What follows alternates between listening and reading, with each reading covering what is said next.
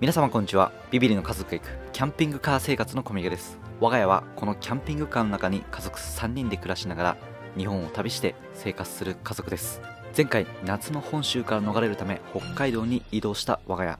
ビビリの家族へ行くキャンピングカー生活北海道編参ります。道の駅にお世話になってました。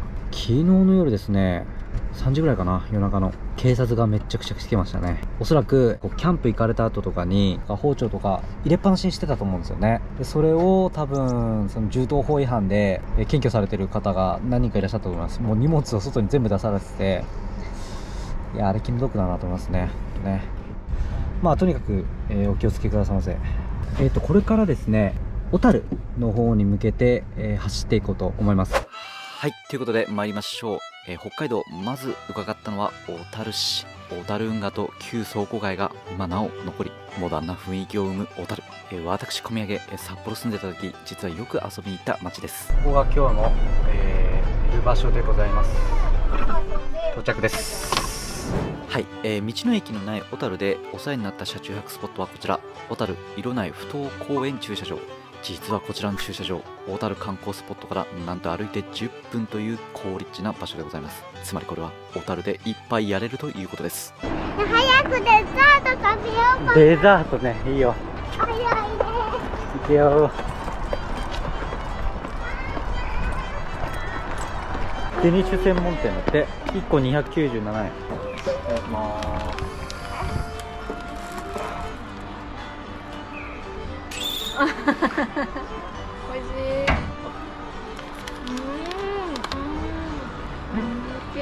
これやっぱり有名なところで食べるレトロこれ全部温泉ってすごい。よ見えますはあ昭和のやっぱりそのままな感じがまだ残ってる感じですね。夕飯をですねどこでいただこうかなと思うんですけども昔行ったお店とかで美味しいところ結構あったんだけどもうどこだかわかんないんですよね。ここの店僕学生時代に来て来た覚えがあるんだよな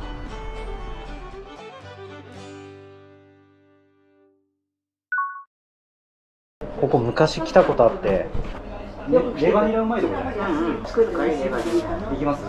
レバニラ食べたい。ラ作っとくよじゃじゃあお願いしますいや嬉しいわ。ちゃうからうん。ロバタ焼きのもの先に注文してた方がいいと思う。了解です。ロバタ何おすすめですか今日？カツラコとか。入りは鮭カマとか美味しい。あ本当ですか？じゃあ鮭カマとカツラコお願いします。はい居酒屋気楽。いやびっくりしました。僕学生時代に一度伺ったことがあってまた行きたいなと思ってたお店なんですね。たまたま曲がった路地で目の前に現れました。はいお通しです。少し刺身？はい。嬉しい。ヒラメですね。昆布締めしてますから。まずタコ食べたいんだいいよママもタコ食べたいな。うん。い。らないこれに会いたかったんですよレバニラおえってなるから。うん。このレバニラは食べたことない。ないよねヤングの味なので。レバニラどう味変わりうましたうまいやっぱうまい鮭カマいきます美味しそう。めちゃくちゃうまいいやごちそうさまでした。いやまさか出会えるとは思わなかったよかったね。よかった。鮭めっちゃ美味しかったな。鮭美味しかった。あのお母さん3人組だったんだけど全然変わってなくてびっくりした。メッシュの色とかも全く一緒だったそうなんだ。うん寝た。今日はいっぱい歩いたから爆音でマイケル・ジャクソンが流れてるお店があってやばいね。その目の前で激しいダンスをして。おあこっち？ー うんそう。あマイケルと踊ったの？はいお疲れした助けた方がいい助けた方がいい。いや登れなくないこれ？いやー20分抱っこは結構しんどい。おやすみこと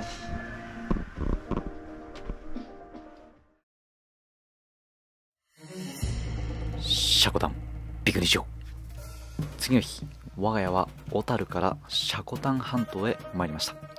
しかし向かった先は絶景スポットなどではない目指すはある一つのお店でございます。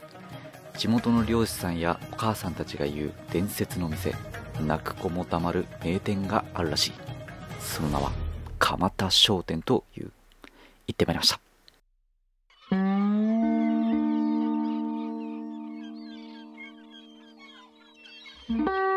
目に飛び込んできた景色は想像を絶するものでした。蒲田商店切り盛りされるのはこの方蒲田さん。店のメニューはその日その日で違います。好きなものをセレクトし好きな調理法を伝えればあとは蒲田さんがその素材の最高のさばき方焼き方で提供してくれます。しかも車を横付けして OK です。つまりこれは最高の贅沢を意味します。おいしい。うん。おいしい。これはうめすごいね。このタコやばいな。うんうん。甘っ。イカ甘い。ありがとうございますお父さうんすんごいめちゃくちゃ美味しいっすわ。うんめちゃめちゃ美味しい。これは皿もすごい。うん。ジュージューいってるジュージュー。このクラスのやつはなかなか食べれないと思う。ね。美味しいでしょ？ここはねおすすめです皆さん。ぜひ駐車場もねかなり広いんで結構スペースあるからそこにトイレの綺麗な無料キャンプ場もあるっていう感じなんですね。なので車中泊で来るのは本当いいんじゃないかなと思います。はい。いやでもここまでのブリンブリンなの見たことないかも。がっつり焼かないでちょっと生ぐらい。うん生生の方がいいな。皮面から焼いちゃっていや、これから、これから、これから。じゃああればすお父さんはい。勢いづいた我が家シャコタングルメもう一丁いきます。伺ったのはこちらカムイファーム。お願いします。おすすめは、はい。畑で採れたブラックベリーヨーグルトと、はい。5種類のベリーが入ったベリーベリー。へこっちが普通の通常の卵でこっちがアラカウナっていう黒いニワトリがいるんですけどそのニワトリが産む卵で1日にね数個しか取れないんですよ。そうそうそうそう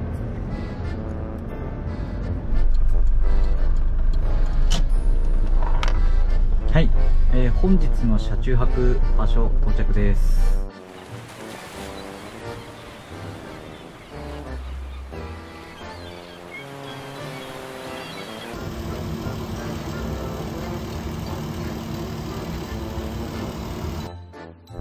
はい来ました。さっき買ってきた。青っぽい白さだよね。不思議なちょ色っとブルーなんだろう。ちょっとマットっぽいっていうか。じゃあありますはい。お願いしますあ黄色い。あこれはあれだ。わ綺麗だ。これ本当の卵だね。いただきます。大きさじゃない？大げさじゃない。本当に？あのねうん。そういうの味もするんだけどうん。めっちゃくちゃクリーミー。めちゃくちゃクリーミホットケーキみたいな味したもんね。ーなんでそんなねクリーミーなんだろうっていうぐらいクリーミー。うめえうめえぞこれうめえじゃなくて、むしだってば、パパったら。じゃあ食べようかこと。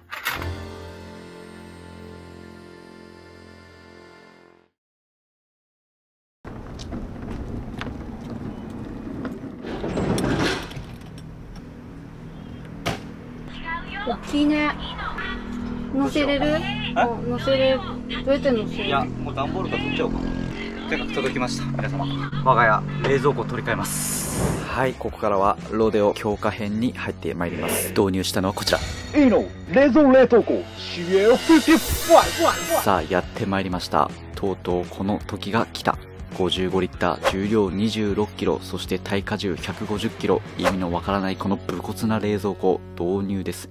えしかしなぜ今なのか。まあ一番は冷凍庫で2層になっててでどっちもですねえっと冷蔵冷凍いけるっていうことで氷で。夏場は特に欲しいね。ハイボールを飲みたい。総八カレーとかも、やっぱこの中で保管。あそうだね。冷凍できてたら、もうもっ魚と美味しく食べれた。はいそうなんです。実は蒲田商店で買った総八カレー最後の方炒めてしまったんですね。それには大きな理由があった。今使っているこのレマコムの冷蔵庫非常にいいアイテムなんですが異質型で一つの温度設定のみしかできない。つまり食材も冷凍できないし氷も保存できないんですね。よってお酒自体をこのように冷やして飲んだりしてます以前からここを改善したかった我が家。えしかしですね2室型で2つの温度設定の冷蔵庫で大きいものがなかなかなかったんですが今回いいのからこちら発売されました。どちらの部屋もマイナス環境に設定できる。しかもこの真ん中の板を外すと1つの冷蔵庫として使うことができる。これは旅の中で必要性に応じて変化させることができるということになります。これはいいぞと。氷の入ったハイボールに夢膨らましたその時。この冷蔵庫は我が家にある試練を与えてきます。はいともあれ、えこやつ本当に長旅に持ってっていいのか旅先でトラブルに巻き込まれないためにも徹底的にチェックします。で、まあ、ここにコントロールパネルがあるんで、ここに表示される設定温度と、この庫内の温度が結構誤差がある冷蔵庫が多いっていうのを聞いてて、今ですね、この冷蔵庫の中に温度計を入れたんですけども、えっ、と、冷凍で使おうと思ってる方に1つと、冷蔵で使う方に1つ、外の気温、こっち冷蔵、こっちが冷凍ですね。冷蔵庫の電源は、まあ、AC は普通の家庭の 100V 電源でできるっていう感じです。DC の方は、ポータブル電源の後ろにある DC ソケットから電源を取ります。今日はまあ、車で使うものなんで DC ケーブルですね。こちらで、えー冷やしていこうと思います。で、これが電源ですね。で、こっちがマイナス6度設定で、冷蔵の方が2度設定で今やりました。はいまずは冷蔵庫の室温計のチェックですここ結構曖昧な車載冷蔵庫多いです冷蔵庫が設定温度になった時中に仕込んだ温度計と相違がないかチェックします頼むぜいいのああ、今マイナス6度になりましたね。あ、これでできました。今、時間が54分かな。早いですね。1時間かかってないです。室温は34度あるので、結構いいスピードで冷えてくれたと思いますね。このね、温度計とかなり差があるんですよね。ちょっとこの差の大きさがちょっと気になるんですけど。こっち冷凍がちょっとどうなのかな？左がマイナス6度もあるような感じはちょっとしないかな。どうなんだろう？タジログ我が家これは導入見送りかと思った矢先6時間後事態は好転してくれました冷凍庫冷蔵庫ともに室温が急激に下降えこの時冷凍庫は霜が降りてキンキン状態でございましたほんと冷凍庫ですね。こんな感じなんで。翌朝さらに事態は好転します。え冷凍庫冷蔵庫ともに温度は下降冷凍庫に限ってはマイナス環境になっておりました。実は寝る前水滴を冷凍庫の方に落としておきましたけどもこちらしっかり凍っておりましたのでマイナス環境であることは間違いない。えしかし気になったのが、え温度計との差。えこれ祖母の家に行った時に普通の家庭用の冷蔵庫で検証してみました。温度設定は3度にして同じように庫内に温度計を仕込みます。はい、ということで今6時間ぐらい経ちました。で、この2番ですね。僕が今冷蔵庫に入ってる温度計の温度です。今3.7度を指してます。えーつまりこれは温度計の数値が、えー正確であるということを意味していると思います。はい、まあ、車載冷蔵庫あるあるではあるんですけども期待してた分いいのにはもうちょっと頑張ってほしかった、えーつまり温度設定との誤差冷凍室に関しては約4度となります。この方程式に当てめると冷蔵庫は約3度の誤差がある、えー冷蔵室の方はまだ温度が全然下げるので問題ないんですが冷凍庫の方はこれが最大でございますのでもうちょっと頑張ってほしかったなっていうのが正直なところではございます。はい。では続いていきましょう。斜め状態での冷却能力。車載冷蔵庫斜めで全く冷えないっていうものも結構あってですね。車中泊ポイントはほぼ斜めなためこのようにですねスタックキーパーという下敷きでなるべく水平に近づけるんですがあそれでも斜めだったりするんですね。実は車載冷蔵庫斜めで全く冷えないのが結構多いんです。ここめちゃ重要なポイントです。冷蔵庫の下にえ物を挟んで、えっと今、こんな感じでちょっと傾斜をつけました。これちゃんと冷えるのか検証してみます。はいちょっと意地悪のくらい傾斜つけてやりました。申し訳ない。えしかしですねこれはしっかりいい結果が出てくれました。え約58分で設定温度になりました。で、えー相変わらず温度計の温度はついてきてないんですけども、あ、うん、大丈夫だと思います。一応傾斜でも冷蔵冷凍能力は全く落ちてないって感じですかね。はいここから3時間ぐらい様子見ました、えー冷凍室はしっかりその後霜が降りてキンキンになってくれました。よかったぜ。いいの。最後消費電力ですね。えーこれもいい結果が出てくれました。えー使ったポータブル電源はこちら EF デルタ。容量 1260Wh つまり 100W の電化製品を約12時間使えるというポータブル電源になります。えーこちらのポータブル電源100%にした状態で午後3時に E の冷蔵庫稼働。そうしましたら一晩経った次の日の2時34分に残量が0%つまりこのクラスのポータブル電源であれば1日は稼働できるということが分かりました。ちなみにこの時の最高室温は36度最低は24度を記録。その間の最大消費電力は 71W 最小消費電力は 0W でございました。いわゆる冷蔵庫が冷え切った時の待機電流ですね。これが 0W というのは非常に高評価だと思います。ということで E の冷蔵庫この室温の変化の中で消費電力をうまくコントロールしてくれた冷却マネジメントシステムはおそらくかなり優秀なんじゃないかなという結果でございます。ということで導入決定熾烈なポジション争い E のがレギュラーの座を獲得です。ということでレマコムからいいのに今全部移し替えます。うわーこれ自信ないなあ怖いな痛い。どどどうする？レマコムのがやっぱ全然大きいんだねこうやって見たら。じゃあオープン。せーの。よっえっと今買ってきました。ロックハウスえもう入れてっちゃっていい？すぐ溶けるとここれ野菜室。はい。肉1919日までこれ冷蔵冷凍入れてみる？えっと冷凍の枝豆買いました。冷凍庫入れてみます。ここどのぐらい持つかですね。これやばいいね。飲み物全然入んないじゃんテンパってきちゃったね。早く閉めないと。ビやばい。酒でもうこれやばいねこれ醤油とか入れたらあもうダメだよこれ。シュワシュワジュース。あダメだ。これ入んないあやばい。味噌とか入れたらもう何全然何も入んない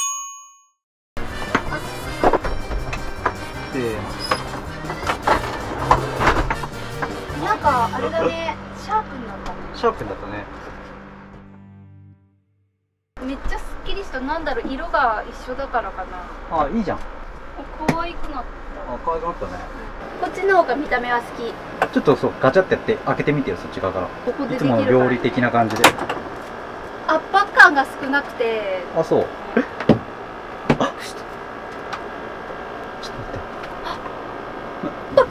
待っていやマジか。そうでしょ。これ車輪取れば解決する問題だもん開かないわ。ちょっと仕事増えちゃったね。めちゃくちゃウケんだけど。なんだこれ。このオチこれは簡単に取れるやつなんで。だけどさ斜めるでしいやでも斜めで冷凍するかどうかっていう検証をしてるから。スナップリングプライヤーとかってやつでこういうペンチがあるんですけど先端がこういう感じになっててこれをねここにはめると取れるやつなんで結構いろんなとこで使うんだけど。ょあこれ広げるんだ。そう広げてこうやって取れるんだよね。へえすごい繊細な。パンパンに荷物詰めてアスファルトとかでぐねぐね引っ張ると多分取れると思う。この冷蔵庫を持つんだったら持っててもいいと思いますこれあはい。安いですこれは。そうなんだ。いくら？1500円ぐらいだとああああもっと手手挟まない？よああー簡単すぎる。すぎでしょ。ちょっとドキドキするんだけど。大丈夫かな？じゃあいきます。開けるよ、はい、はい、そこで。あいった。あよかったね。引っかかる？戸を完全に開けられる？おおこれはすごい楽になるよ前はこれを手で持ちながら片手で物を取るっていう感じだったんですけど今はこうやって両手であすごいいいかもしれないね。でもちょっとああれだね。結構さ奥に入ってたからすっきり感がいい感じだったのかな。あのさっきとなんか違うね。はい2日後。氷は全然溶けずに頑張ってるって感じ。枝豆もこんな感じでまだ凍ってる感じです。でちょっと驚いたのがこの豚肉入れたやつ凍ってるっていう感じなんですよね。だから冷凍機能としてちゃんと果たしてくれててよかったって感じだよね。マイナス6度だけど。マイナスになったら凍るんじゃない？冷凍いやーでも肉はなかなか凍らないと思ったけどね。ただここの層はねちょっと温度が高いここに飲む寸前のビールとかを入れてキンキンにして冷やしてる感じです。今日これ飲むんだけど。冷蔵室の方がやっぱりちょっと狭い感じがあるからこの辺は要改善っていう感じですね。ただ相変わらずのえ車輪なしの斜めは斜めでございます。斜めでも問題ないってことでしょ？問題ないね